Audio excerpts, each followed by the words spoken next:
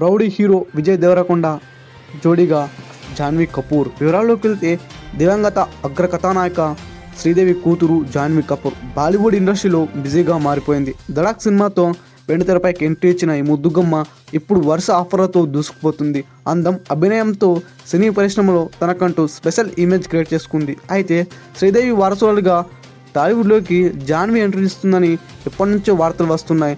తెలుగులో జాన్వీని పరిచయం చేసేందుకు చాలామంది దర్శక నిర్మాతలు సన్నాహాలు చేస్తున్నట్లుగా టాక్ నడిచింది. తాజాగా జాన్వీ కపూర్ ఎంట్రీ కన్ఫర్మ్ అయినట్లు ఫిల్మ్ సర్కిల్లో టాక్ వినిపిస్తుంది.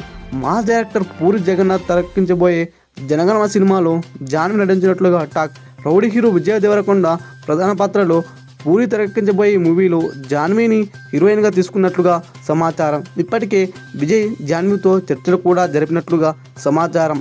ప్రస్తుతం విజయ్ దేవరకొండతో కలిసి లైగర్ చిత్రాన్ని రూపొందిస్తున్నారు. ఇందులో బాలీవుడ్ బ్యూటీ అనన్య పాండే నటిస్తున్నారు. బాక్సింగ్ నేపథ్యంలో రూపొందిస్తున్న చిత్రాన్ని ప్యాన్ ఇండియా లెవెల్లో విడుదల చేయనున్నారు. అప్పటికే ఈ సినిమా నుంచి విడుదలైన పోస్టర్స్ ఫస్ట్ గ్లిమ్స్ సినిమాపై మరింత హైప్ క్రియేట్ చేశాయి. ఇక ఈ సినిమా తర్వాత విజయ్ పూరి జగన్నాథ్ కాంబాలో మరో సినిమా రానున్నట్లు తెలుస్తుంది.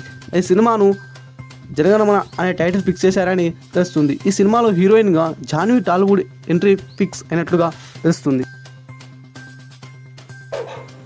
ఈ వీడియో నచ్చినట్లయితే లైక్ చేయండి షేర్ చేయండి. సబ్స్క్రైబ్ చేయడం మాత్రం మర్చిపోకండి. పక్కనే ఉన్న బెల్ ఐకాన్ని ప్రెస్ చేసి నోటిఫికేషన్ రూపంలో మా ప్రతి వీడియో మీరు పొందవచ్చు.